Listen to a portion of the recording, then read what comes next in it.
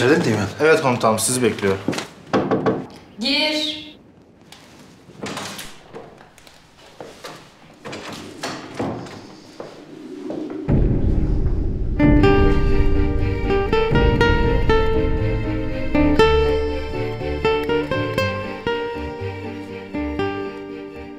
Seyretmeniz bittiyse Asteğmen'im. Selamınızın nerede kaldığını sorabilirim herhalde. Size saat tam on denmişti. Haber verilmişti değil mi? Ee, evet. Evet. Evet komutanım. Peki o halde neden saat tam onda burada olmadınız? Geçerli bir mazeretiniz var mı Asteğmen'im? Yok. Ama bir arkadaşımızın tayini yani istifası nedeniyle bir tür vedalaşma oldu ve ben de Verin onları.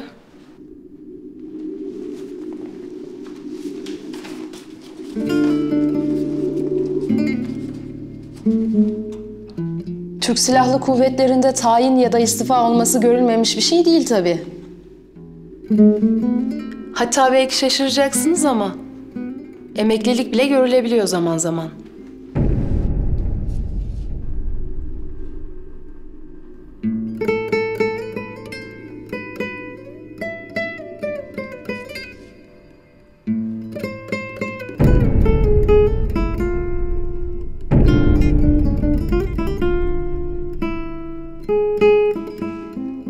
Arkadaş uğurlarken karakol faaliyetlerine de ara veriyor musunuz Asteğmen'im?